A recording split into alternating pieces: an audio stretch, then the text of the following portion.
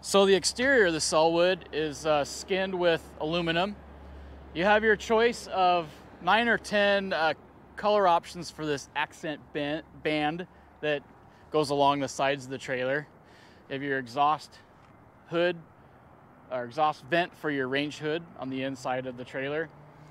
And our windows are miter cut. We're kind of keeping with the retro theme of having the miter cut windows like they did in the 60s and 70s and such.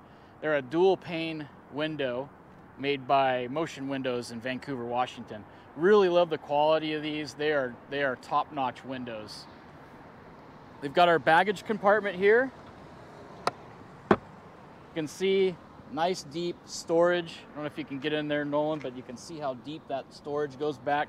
You can put a quick shade in there, uh, brooms, axes, lots of longer items fit in there perfectly.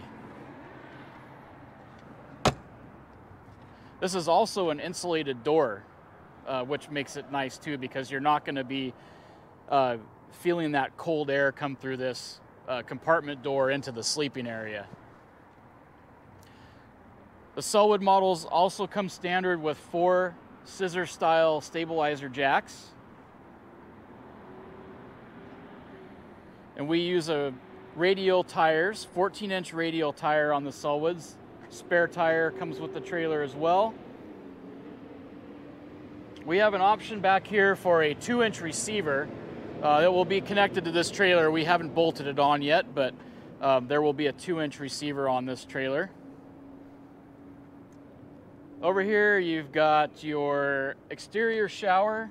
This door opens up and you've got a handheld shower that you can use for you know, those trips to the beach when you want to wash off sandy feet. If you want to take a shower in the outdoors, that's a, a good option to have. And this is our city water connection and our water tank fill right here. Got our wastewater drain down below here.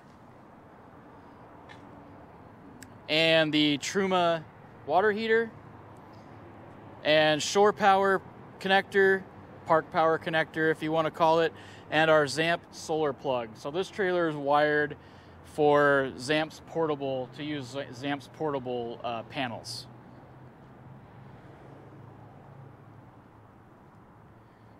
And then up front here we have twin 20 pound LP tanks, uh, trailer breakaway system, and again, just beautiful windows from uh, Motion up in uh, Vancouver, Washington.